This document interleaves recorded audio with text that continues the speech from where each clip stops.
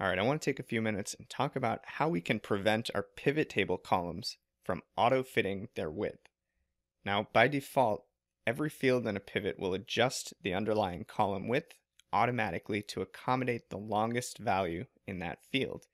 And normally this is helpful because it means that all of the text in our fields will be visible by default, but it can be really inconvenient if you're working with a number of very long text-based fields that might have uh, hundreds of characters or words. So you may end up with something that looks like this.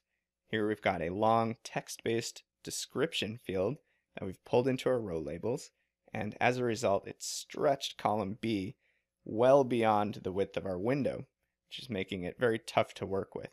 Now, simple fix here to prevent that automatic resizing or auto-fitting from happening, all we have to do is jump into our Options tab or Options button within our Analyze tab, and we're going to click or uncheck this box that says Auto Fit Column Widths on Update, and that's in the Layout and Format tab of the Pivot Table Options dialog box.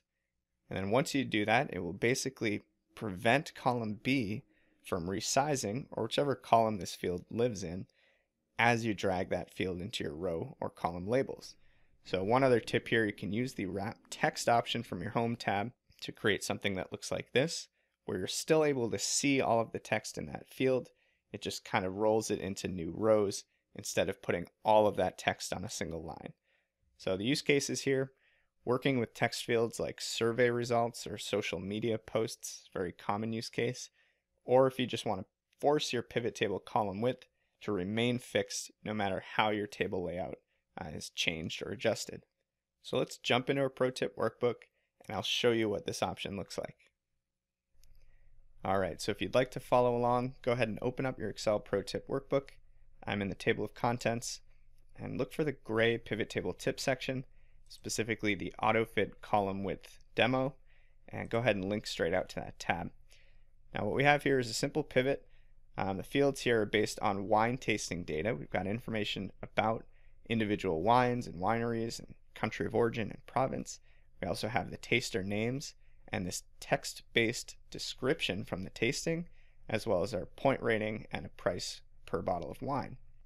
Now, if we grab this long text-based description field and pull it into our row labels after the taster name, see what happens here? It's stretched column B way, way out, kind of beyond the window, and it's made it very difficult and awkward to work with, as you can see, just trying to even just navigate through the view here, um, which is quite annoying because it's fit to the longest description in this entire field. So watch what I'm going to do here. I'm going to pull description out, which is going to kind of shrink column B back down. I'm going to go into pivot table tools, analyze, and drill into my options here. And within that layout and format tab, this box that says auto fit column widths on update is generally checked by default. All we've got to do is uncheck that box, press OK, and then watch what happens when we pull description back in. There we go. Now column B is an average column width. It didn't stretch it out to auto fit.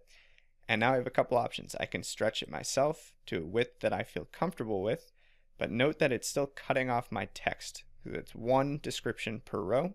One update that I often like to make in cases like this is select all of column B, head to my Home tab, and activate this Wrap Text option in the alignment pane. And that basically just extends or wraps the text to multiple rows in cases where it would have been cut off. And now I'm able to see all of the text in these descriptions and customize exactly how wide I'd like column B to be. So there you have it, simple but effective tip preventing your pivot table fields from auto-fitting those column widths.